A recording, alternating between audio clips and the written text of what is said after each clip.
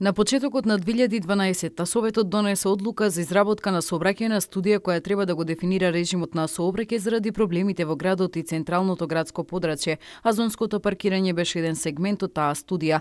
Одлуката се изгласа на Совет годинава и во јуни беше подпишан договорот за јавно-приватно партнерство меѓу општина Битола и Стентон градба, договор кој го канализира условот за паркирање во градот. Согласно договорот, Стентон градба своите обврски ги завршила и неодамна е формирано ново градски паркинзи Битола предпријатие кое ќе стопанисува со паркинзите во градот. Според информациите до кои дојде Тера, отпочнато е бележењето на предвидените 1951 паркинг место низ градот. Во наредниот период ќе бидат поставени на платните куќички и рампите. Од таму велат дека немале проблем со граѓаните, дури и паркинзи кои не се влезени во планот побарале да бидат вклучени во зонското паркирање. Софтверот бил веќе изготвен и согласно договорот, трите месеци од подпишувањето на договорот договорот биле период на подготовка на теренот. Наредните два месеци се за обука на оние кои паркираат и веќе од ноември месец ќе се почне со наплата. Дали сметате дека паркирањето во градот ќе се реши како ќе се воведе зонското паркирање? Ами треба поќе казни, гледа тука дека не можат и оние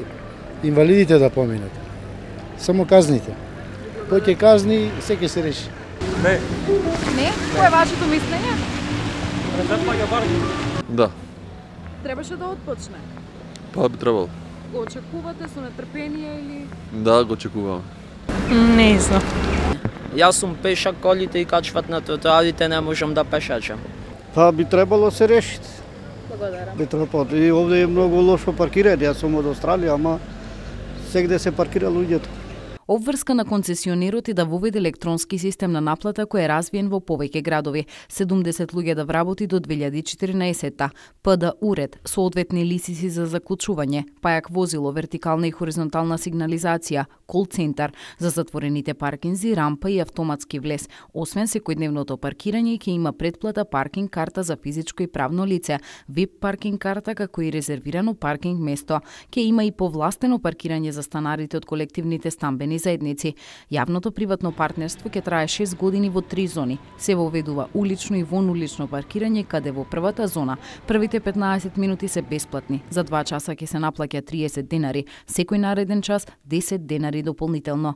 Во недела и неработни денови паркингот ќе биде бесплатен. Приватниот партнер има обврска бруто износ кон општината Битола кој треба да го плаќа за една година, а изнесува 1 милион 734 410 денари.